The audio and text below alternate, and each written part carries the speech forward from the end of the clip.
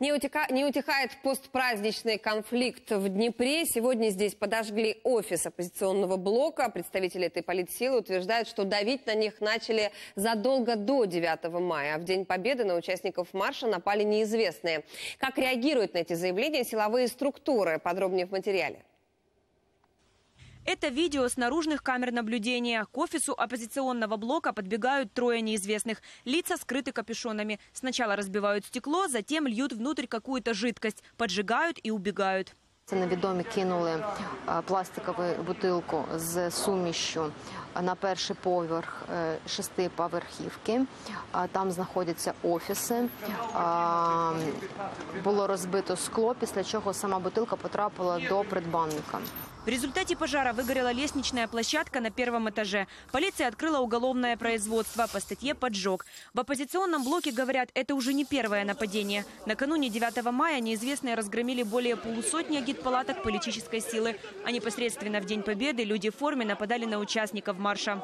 Пацаны, ты без балаклавы, ты запомнил. Сейчас э, в Днепре просто хватают людей на улицах, участников Марша Победы, их было больше 25 тысяч человек, и говорят, мы тебя посадим, или если ты дашь любые показания на ОПО-блок, то э, тогда мы тебя отпустим домой. И вопрос ведь не в судьбе ОПО-блока. Вопрос э, в правах и свободах. Они будут в нашей стране или не будут?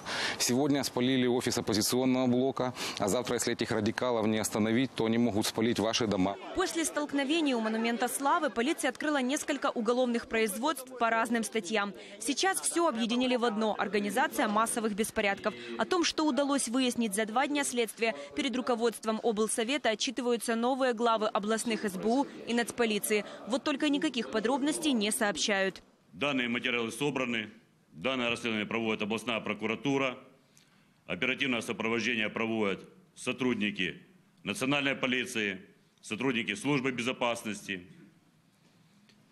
В ближайшее время результат вам будет доложен. Нет той эффективности, по- с которой мы должны это сразу все упорядживально полностью гасить. Буквально 2-3 недели я изучу оперативную обстановку в регионе, потом буду готов полностью доложить.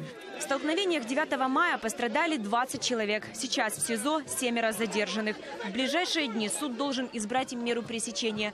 Есть ли среди них организаторы провокаций, в прокуратуре не говорят. Кримінальне провадження у нас зареєстровані за фактами хуліганства, за фактами е, участі у масових заворушеннях.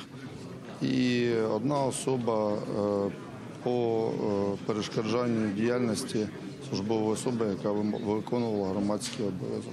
В прокуратуре также изучают действия правоохранителей во время потасовок. Выясняют, можно было их не допустить или нет. С результатами проверок обещают не затягивать. Ольга Иванченко, Вячеслав Никифоров. Подробности телеканал Интер Днепр.